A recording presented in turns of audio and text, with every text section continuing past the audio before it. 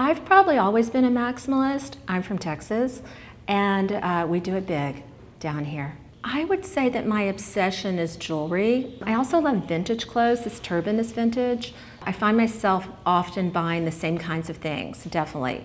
Um, so I chose this white shirt. You know, we had a, uh, the possibility of choosing between five or ten shirts. And I just liked this one because I sort of wanted to kind of reference the 40s or kind of a Frida Kahlo kind of thing. And I felt like this really represented that. Through travel, I find a lot of things that inspire me. This necklace I got in Morocco, this skirt I got in Milan, these bracelets I got in Africa. It's all really for me a lot about accessories and color. So um, sort of every pattern goes together for me, like leopard is a neutral. Um, so anything sort of goes, I guess. My fashion statement for myself is very personal. I feel like, and that in a way is what my design work is too, and I feel like that's what's happening right now in the world. It's about personal style, and I think that's when it becomes not interesting and more victimy kind of looking is when you wear whatever, the whole outfit. That it's just nothing personal about it.